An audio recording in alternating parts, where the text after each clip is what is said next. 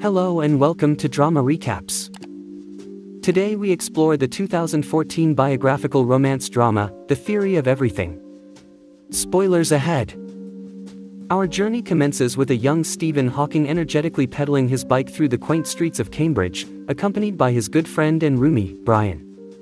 Stephen, a brilliant astrophysics student, gets romantically involved with literature enthusiast, Jane Wilde. Stephen, however, is a declared atheist, which contrasts starkly with Jane's religious beliefs.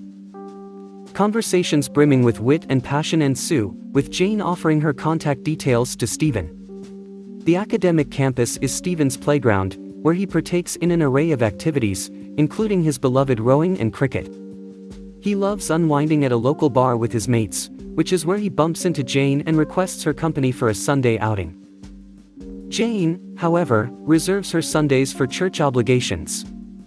While Stephen is exceptionally proficient in the disciplines of math and physics, his peers and mentors express worry over his non-existent thesis topic. When confronted by his professor, he admits to his indecision, hinting at a revelation in the near future.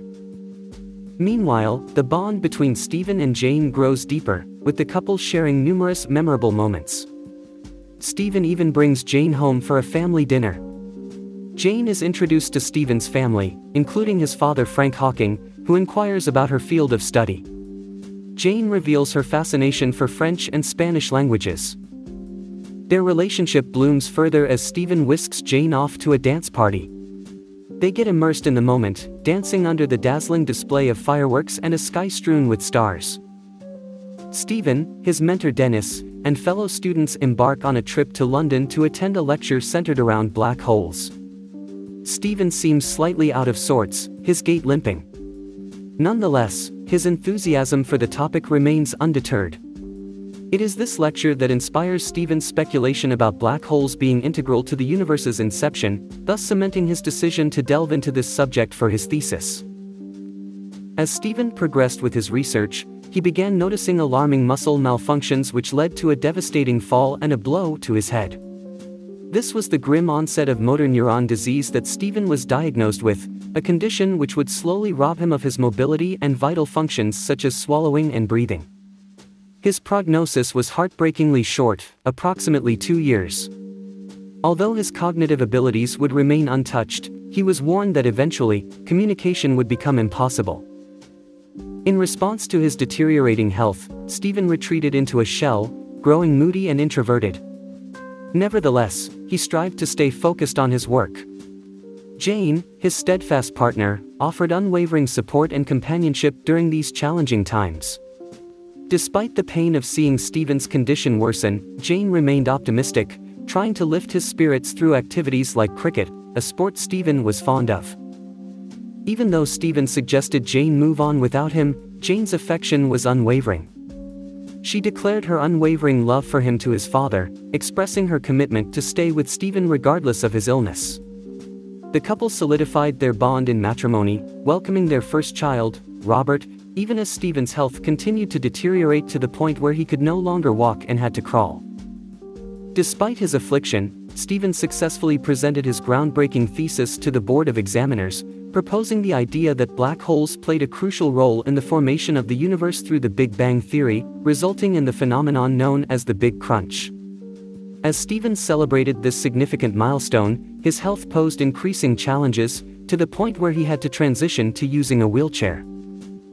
Following the birth of their second child, Lucy, Jane committed herself tirelessly to caring for Stephen and their children. Stephen's work on the theory of black holes catapulted him to global fame, despite facing criticism and derision from some quarters during his presentations.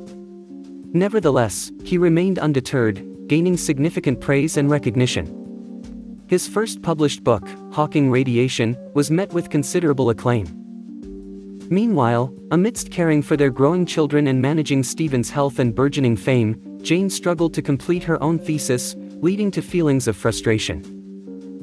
To alleviate Jane's distress, Stephen reassures her that they are a normal family, and in an effort to reset, they decide to go on a vacation.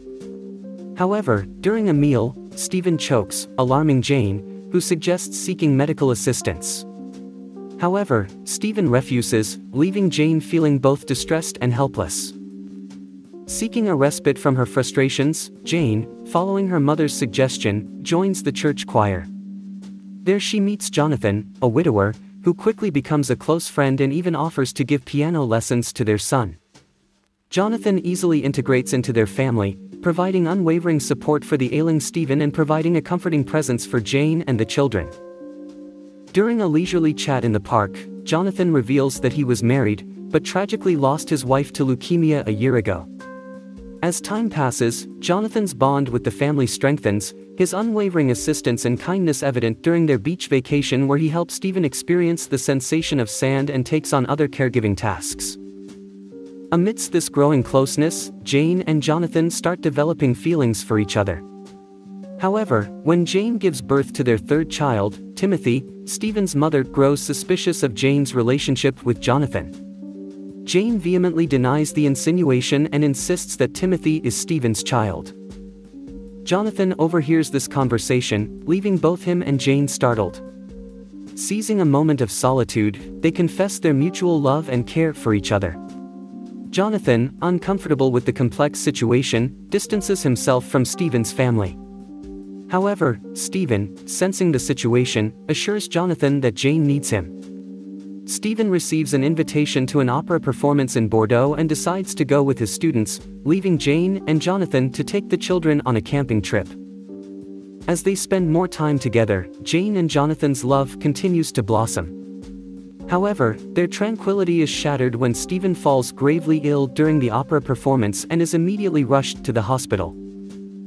During Stephen's hospitalization, doctors inform Jane that Stephen has contracted pneumonia and needs a tracheostomy to aid his breathing and survival. The trade-off is that Stephen would lose his ability to speak.